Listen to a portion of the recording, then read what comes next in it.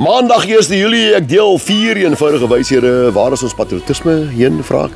Wat 'n generasie is jy? Ek boikot Back a Bunny. Graag. Trump debatteer Biden en hoe lyk jou vakansie sover? Maar myne lyk so. My opinie uiteindelik en as ek so kyk, is minder mense as ooit het geldjies vir ver vakansies. Die welvarendes bloei geld, die voormalige vermoeiendes het nou maar karavane gekoop en die behoeftige klas het sy karavane verkoop. Die treine kom ook nie meer hier verby nie. 4 per dag destyds was ons brandewyn signaal. Nou lê ons erge dors en droogte hier in die KZN se suidkus. Maar die see bly terapie en my klein kiewit speel haar simpel met haar maatjies. Sy's nog nie op nie. Biden se eerste verkiesingsdebat teen Trump was wat s'ie woord, tragikomies, droewig eintlik self CNN die fasiliteerder beamoen dat dit dodelik was vir Biden se veldtog om soos 'n Alzheimer slagoffer te babbel as jy die persoon is wat besluite moet maak oor wêreldoorloë. Roman Kabalak sê toe Suid-Afrika se politiek lyk bestendiger as Amerika se. My antwoord was ja, maar ons leiers debatteer nie op televisie nie, want dit sal een lagwekkende spul wees.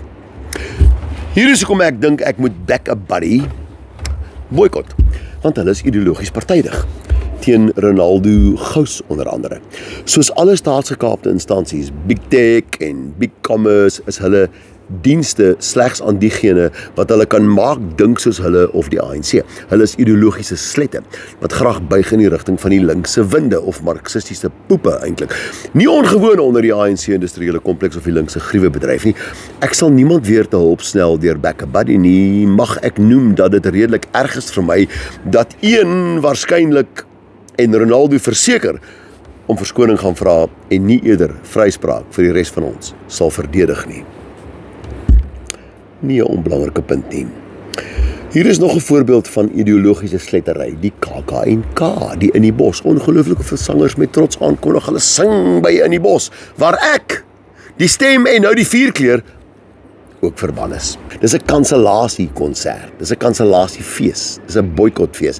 Hulle maak geld uit die kultuur wat jou gemaak het, wat jou geïnspireer het. Hulle verag jou agtergrond. Soek jou geld en lag dan vir jou en jou tradisies al die pad bank toe.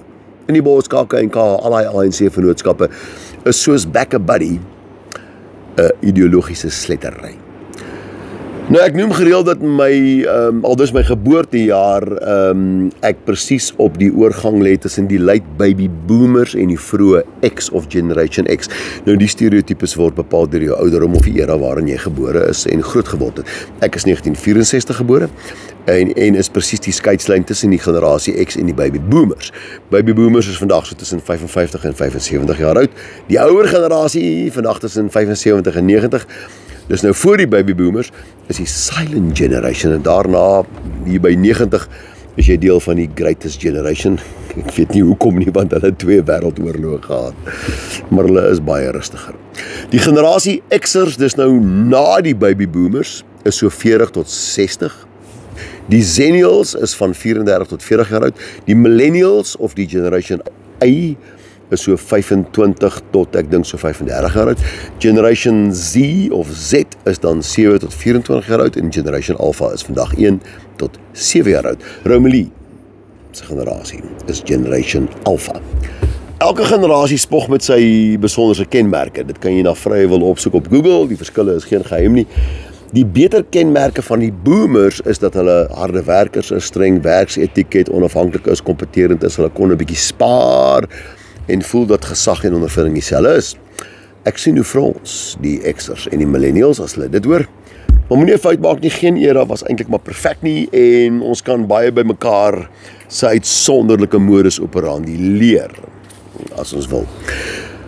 Luister, maak 'n knoop in jou oor, die kaartjies vir die tweede Ikoor konsert op Saterdag 1 Maart 2025 volgende jaar. Maak Woensdag 3 Julie, is nou oormôre om 8 uur oop by iTickets. Die eerste een is reeds uitverkoop. Jy het gevra vir 'n tweede. My voorreg sal goed wees om jou daar te ontvang. Ek deel graag vier eenvoudige wyshede wat ek by Chris Williamson se gaste gehoor het. Uh so opsomming, hy sê 1 jou beste vriende is die by wie jy die minste filters inspan en met wie jy die gemaklikste stiltes deel. 2 Probleme is ingebou in die lewe. Probleme moet heeltyd daar wees. Die lewe gebeur nie omdat jy dit uitstryk nie nie terwyl jy top oor 'n probleemvrye lewe. Dit gaan nie gebeur nie. Probleme is ingebou. Dis 'n goeie les. 3. Span jou lae selfbeeld se energie in om jou meewaardig is verkeerd te bewys. Hoe eenvoudig is dit? En laastens, jy is die normale mense wat jy dink ander is. Die vraag wat jy oor hulle het, het hulle hoogs moontlik oor jou. Daar sê. Ek dink is goeie goeie lesse. Ek wil baie graag oor patriotisme praat. Wat 'n argaïese idee. Kry mense dit nog? Hoe lyk dit? Patriotisme het niks meer te doen met trots soos in die ou dae nie. Dis nie prestasies en standaarde van die verlede nie. Patriotisme is nou 'n verhouding met die staatskas. Dis nie 'n quality nie, dis 'n frenetiese equality oor alles. Patriotisme is 'n selftoeëning agter die sluiers van diversiteit, equality en insluiting waar jy jou goeie intensies uiteindelik 'n misdaad toneel word. Patriotisme is vandag selfsug. Patriotisme is kniebuig, dis critical race theory, Black Lives Matter, die critical gender theory. Dis die Me Too movement. Kyk vir my Andy Warhol, ek is iemand vir 15 minute. Ek ek ek ek ek ek ek ek ek. ek. Patriotisme en kultuur disintegreer voor 'n linkse gefabriseerde narcistiese narratief. Jy stem nie meer as 'n landspatrioot of 'n volkspatrioot nie, maar as 'n eiser van gratis goedjies, eise op ander mense se inkomste en hulle eiendom, ekstra regte vir jou en jou ou slagoffergroepie.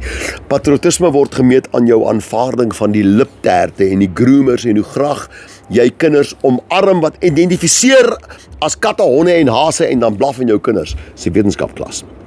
Ek mag nie 'n vlag wapper nie. 'n Vlag wat minder moorde, minder verkrachtings en minder werkloosheid simboliseer as vandag se vlag. Ek mag nie. Ek mag nie 'n volkslied sing wat 30 jaar voor apartheid geskryf is nie. Ek mag nie sê dat LGBTQIA se lisensie vir alle seksvoorkeure mag lei na bestialiteit nie. Mag dit sê nie. Ek moet hof toe as ek klaar dat iemand op my vlag dans. Letterlik. My patriotisme is gekriminaliseer, my woordeskat is gekriminaliseer. My my woordeboek kwyn met bladsye sonder tradisionele woorde soos die K-woord. My en jou wetenskap is te wit. Ek vra jou. Jou wiskunde moet gedekoloniseer word. Jou vasteland moet geïslamiseer word daar in Europa. En jy in Suid-Afrika word jou Starlink Wi-Fi ontneem omdat jy die swart arbeidsbeginsels ongenaakbaar rassisties gevind het. Ons lewe nie in Ballad of the Green Beret nie. Ons lewe in John Lennon se Imagine. En dit moes ons sien kom het. Ek mag nie genetiese verskille uitwys en hoe dit bydra tot my gees en daarom my kulturele ruimtes nie. Gene dra by tot groepsverskille en sommige groepe is beter as enige groepe in sommige dinge. Links is kan dit aanhou ontken, daaroor skree. Hulle kan wette maak wat dit ontken, hulle kan mense straf, hulle kan vryspraak verwyder, mense wat dit verstaan afkraak en kanselleer, maar dit sal aan die einde van die dag steeds daar wees. Beledigings en ontkennings verander nie die werklikheid nie. Totsiens landsknegte, totsiens vaderlanders, patriotisme in Suid-Afrika lê nou erns tussen 'n rugby oorwinning en 'n klap entitlement, toeëning beskerm jy 'n wêreld van deugsyne en nabootser altruïsme.